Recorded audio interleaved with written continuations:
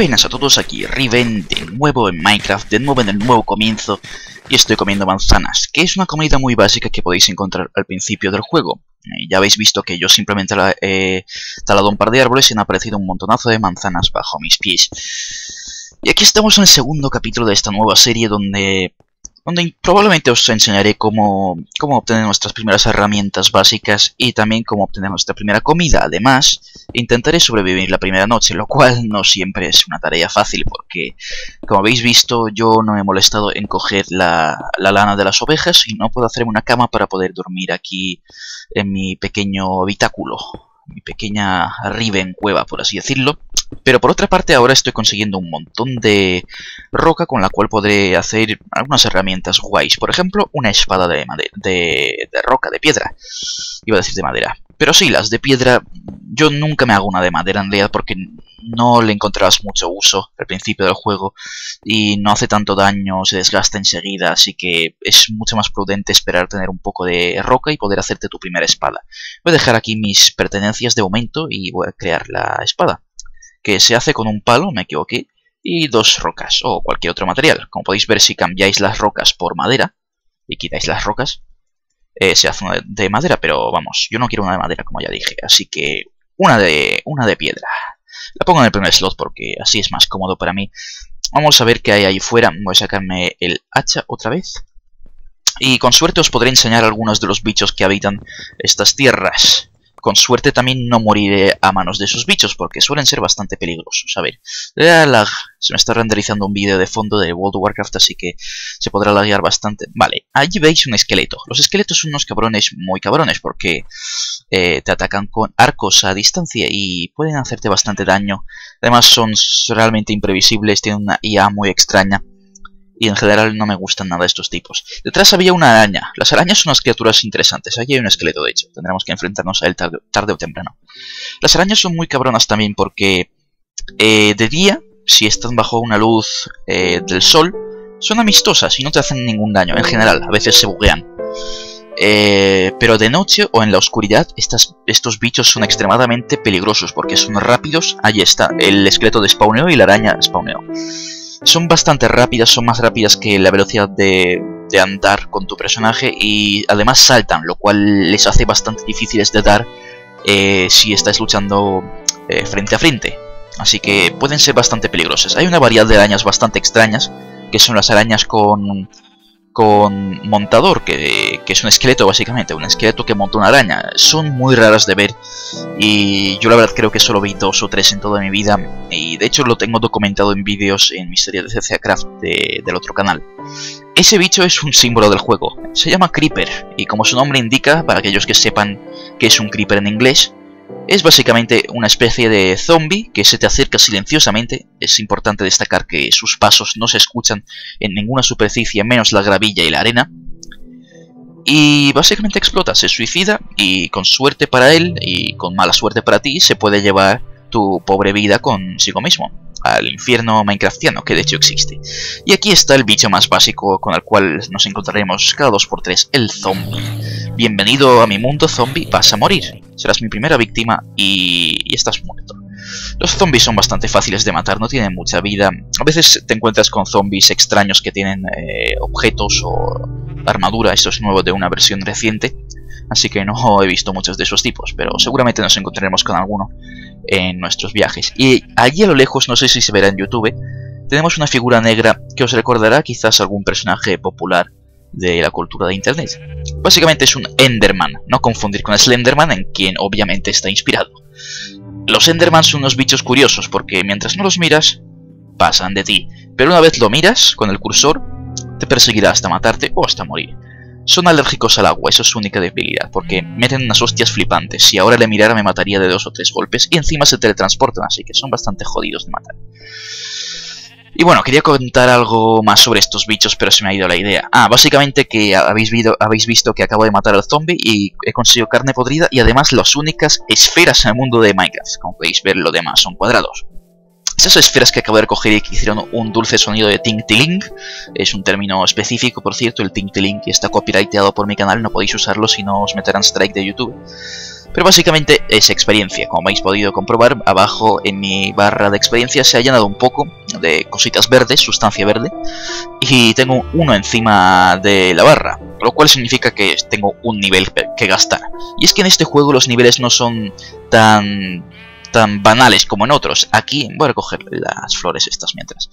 Aquí, en vez de ganar habilidades con los niveles, lo que haces es crear una mesa de encantamiento y puedes gastar estos niveles como si fueran monedas en encantamientos para tus herramientas, armaduras o lo que sea. Es un planteamiento curioso, a veces resulta un poco extraño, pero funciona bien y nadie se queja de él. Puedes encontrar encantamientos bastante guays, son completamente aleatorios, a veces te tocan encantamientos de la hostia, otras veces te tocan encantamientos que no sirven de mucho, pero pero es así, antes se podía encantar como un máximo de 50 niveles, ahora lo han bajado a 30 porque decían que era muy aburrido grindear tantos niveles tengo un poco de miedo por ese creeper porque me temo que próximamente veréis cómo son esos bichos en acción sin tener que explicaros yo nada. De hecho podemos, podemos provocarle un poco si no despawneado. ¿Dónde está ese tipo? Creo que ha despawneado. Eh, y el Enderman también, así que no podré enseñaros nada, nada de estos dos tipos. ¿Qué demonios es eso? Parece un jugador, pero no lo es. Es un, es un esqueleto con armadura de oro y un arco. Madre mía, me ha acojonado por un momento, en serio. Puta oveja. Me ha acojonado porque me han pasado varias cosas extrañas en mis mundos de Minecraft. En concreto, podéis ver un capítulo antiguo de mi primera serie de Minecraft donde descubro Dranquil y acaba de desaparecer. Qué pena, iba a matarlo porque quizás me dropeaba algo guay. Eh, está saliendo el sol, de hecho, y veréis otra peculiaridad del mundo. Uy, tú no. No me caes bien. Déjame en paz. Eh, no quiero follarte, oveja. Eh, hostias. Vale, veréis a un esqueleto también. Sí, mata a la oveja. No, a mí no. A la oveja. Ah, voy a matarte. Fuera. Qué cabrón me ha dado al final. Que, he dicho que fuera, tío. Muérete. Feo. Me ha dropeado una flecha, creo. Dos flechas, de hecho. Me servirán algún día. Y otro, tío, ¿en serio? Me van a matar. No, no, no, no, no, no, no, no, no, no, no, no, no quiero morir tan pronto en mi vida. Además está se está poniendo la luna, está saliendo el sol. No es momento para morir. Nuestra primera emoción en mi nuevo mundo de Minecraft. Pero bueno, lo que estaba diciendo que me pasaron varias cosas bastante extrañas en mis aventuras en Minecraft. Mis fieles suscriptores sabrán de qué momentos hablo, los demás pueden ver mis series en mi canal antiguo y ver de qué hablo, pero sí, me han pasado varias cosas, una de ellas bastante recientemente, que he descubierto un edificio súper extraño cerca de donde estaba construyendo mi poblado, y ahora he visto esto y pensé que era un jugador, de repente estoy pulsando Shift, hostia, le di a Q sin querer. ¡Hala! ¡Qué guay la animación de la espada! Antes no estaban animadas así en 3D, simplemente había un sprite en el suelo. Esto mola mucho, es un detalle tan pequeño, pero mola. Bueno, lo que decía, que he visto ese tipo, estoy pulsando tabulación, así que veis que no es un servidor esto. Si pulso escape, veis que pone abrir en LAN, o sea que no está abierto para un servidor. Y me ha acojonado, pensaba que era un jugador, pero no lo es. Y veis que ahora está ocurriendo aquello que prometí que ocurriría, y es que estos bichos mueren a la luz del sol y además me dejan sus dulces botines, en este caso dos flechas más, así que ya tengo cuatro. Voy a intentar lootear algo más de ellos, a ver si encuentro algún resto suyo para poder aprovecharlo. Eh, y de momento no veo ninguno inmediato, veo una bola de experiencia aquí, aparentemente no he cogido todas las de aquel zombie. Y acaba de crecer un trozo de hierro más, así que voy a romperlo, porque soy así de vándalo. Una nota, una nota bastante importante, y es que los creepers no son alérgicos al sol, así que probablemente os encontraréis con bastantes eh, después, de, después de amanecer, como por ejemplo ese tío de ahí. Voy a llamarlo Juan y será mi mascota personal. Pero bueno, me he cansado de estar aquí dando vueltas, eh, no quiero esperar otra noche, así que lo siento oveja, tendrás que sacrificar tu pobre pellejo en nombre de la ciencia. Y tú también, y probablemente una tercera. Sí, porque si las matas con espada o con puños o con lo que sea, solo te dan un trozo de lana y obviamente se mueren y no respawnean, eso es algo importante. Eh, voy a matar a esa oveja eh, montañosa porque ¿Por qué está en las montañas? Seguramente intenta suicidarse ya de por sí, porque su lamentable existencia es muy triste, no tiene amigos. Y voy a ayudarla. Sep, le ayudé. Hostia, casi me muero. No me he fijado que estoy muriéndome de hambre y si no como, eh, no me, se me va a regenerar la vida. Así que voy a comer esta carne podrida que puede servir a veces en situaciones desesperadas, pero también puede ocurrir lo que me acabo de ocurrir y es que tengo hambre. Que básicamente te enferma eh, la comida tan asquerosa esta y te baja las barras de jamones más rápido de lo normal. Pero bueno, lo que estaba haciendo es coger lana para poder crear mi primera cama y para poder pasar las noches instantáneamente evitando todos estos spawneos de bichos. Y le voy a poner aquí abajo. Voy a craftearla en mi, pequeña mesita de crafteo y es una receta bastante sencilla. Tres lanas, tres tablas de madera. No tiene que ser muy cómodo, pero es práctico. Voy a ponerla aquí. Aseguraos, por favor, de tener bastante espacio alrededor de la cama, si no pueden surgir algunos bugs innecesarios. Bueno, ya que estoy aquí, voy a crear una puerta también, que también son muy sencillas de hacer. Simplemente seis bloques de, de madera y tenemos una puerta completamente funcional. Voy a ponerla aquí. No, ahí no. ¡Hala! Ahora han, arreglado lo de romper las puertas, es mucho más sencillo. Antes podía resultar un poco dificultoso. Voy a dejarla aquí. Y voy a, voy a construir un recinto alrededor de esto. De tierra, ¿por qué no? Sí, ya veis que tengo una entrada básica a mi pequeña cueva. Voy a romper esto para poder pasar con más sencillez y menos dificultad. Como, como la, la palabra, la expresión más sencilla se indica, básicamente. Pero bueno, aquí está mi puerta, con el clic derecho se abre, con el izquierdo ahora no, antes sí que se abría con el izquierdo, esto me gusta. Y intentaremos buscar nuestra primera comida. Lo que estaba comentando es que las ovejas no respawnean y para evitar eh, malgastarlas puedes crear una herramienta que se llama Flint and, eh, Flint and Steel, que digo, eh, cizallas, no sé cómo se pronuncia, cizallas, que básicamente son unas tijeras que cortan su lana y madre mía, ahora me acabo de dar cuenta de la barbaridad que estaba a punto de decir. Cortan su lana y las dejan vivas durante un tiempo relativo hasta que las coma algún lobo. De hecho hay lobos en este juego. Eh, y te dan más de un bloque de lana por oveja, así que es más práctico, además de ser más humano, o más bien más ovejuno. Voy a coger este carbón, porque soy así de guay. Además el carbón me da experiencia, como podéis ver, porque porque si antes solo podías conseguir experiencia matando bichos, ahora además te dan experiencia por minar.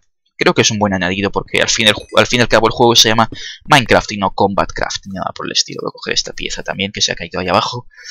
Y bueno, la barbaridad que he estado a punto de decir es que necesitabas un Flint and Steel para, para poder eh, cortar la lana de una oveja y luego os enseñaré por qué es una barbaridad. Los que saben de qué va el juego ya seguramente se habrán descojonado en ese momento y los que no, pues como ya digo, os enteraréis próximamente cuando encuentre un poco de flint y un poco de steel. No tengo ni uno ni el otro de momento. No sé cómo se traduce en la versión castellana, la verdad. Eh, lo que me interesaría, de hecho ahí hay gravilla, podría conseguir un flint ahora mismo desde ahí. Lo que me interesaría ahora es conseguir, aparte de hierro, eh, que steel, ahora me doy cuenta, lo tonto que he sido. Eh, me interesaría a las flechas. Coger eh, conseguir comida porque es algo básico estos niveles del juego y no puedo sobrevivir solo con manzanas no de hecho hay un dicho en Rusia que, dice que una persona no solo vive del pan aunque en este juego sí que puede ser posible. Voy a romper esta gravilla y voy a intentar conseguir eh, flint que no sé cómo se llama en español. Creo que ya me acuerdo cómo se llama flint and steel se llama pedernal verdad puede ser. Así que veremos si, si puedo conseguir un trocito de esos de, toda esta gravilla. Sí, aquí está, de hecho. Veis que se llama pedernal, sí. Comparte una textura muy similar a la del carbón, así que mucha gente puede confundirlo. Y otra cosa que cabe destacar es que tanto la gravilla como la arena son los únicos bloques del mundo de Minecraft, aparte de alguna excepción, que tienen gravedad, así que si rompes uno de abajo, se caen los de arriba. ¡Oh, qué magia! Pero es que si pones uno de tierra, no se cae. Incluso si rompes los de atrás, va a quedarse allí. Veis que simplemente está volando en el aire. Es algo muy clásico de Minecraft y mucha gente se ríe de eso, pero vamos, a mí me la trae floja. A mí me da igual si, si una cosa se cae o no.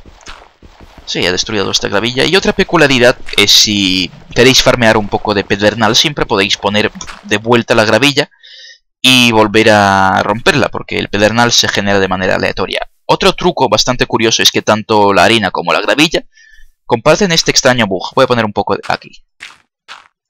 Veis que he puesto un montículo bastante eh, impresionante, sí, de cuatro bloques o algo así, de cinco. Y si, si querríais romperlo como yo, eh, os llevaría un poco de tiempo. Eh, sin embargo, existe un método para romperlas todas de un golpe, y es este. lo rompéis con una antorcha y inmediatamente ponéis una abajo. Y veis que todas se rompen. Porque un bloque de estos no puede existir encima de una hitbox eh, transparente como es una antorcha o una palanca o una escalera o lo que sea. Así que, eso sí, hay que destacar que de este método no conseguiréis ni un solo pedernal, por eso yo no lo he empleado mientras estaba rompiendo esa gravilla. Y me he fijado que allí, en la distancia, hay un bioma de... de selva, pero no voy a investigarlo de momento, porque me estoy muriendo de hambre y creo que en este capítulo ya no me dará tiempo cubrir el aspecto tan básico de la vida y del juego como es la comida. Así que me temo que tendréis que esperar al siguiente capítulo para, para que os explique de qué trata todo esto de la comida para que os explique de qué tratan los biomas y para que sobrevivamos a nuestro segundo día en el mundo de Minecraft. Como siempre, espero que os haya gustado el vídeo, dadle like, favorito y suscribiros a mi canal. O como os plazca. Hasta la próxima. ¿Y si soy un nocturno, qué pasa, eh?